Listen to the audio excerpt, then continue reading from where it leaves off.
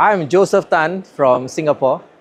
Uh, th this is our company, ANZ Electric, and we do uh, battery management system for electric vehicles and e-mobility devices.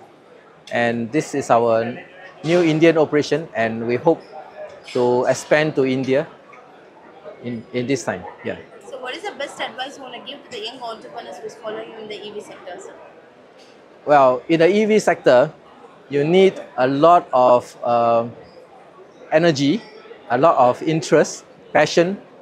Uh, but on top of that, you need good investors who can understand this uh, startup uh, needs and be able to see the startup company from startup to Series A.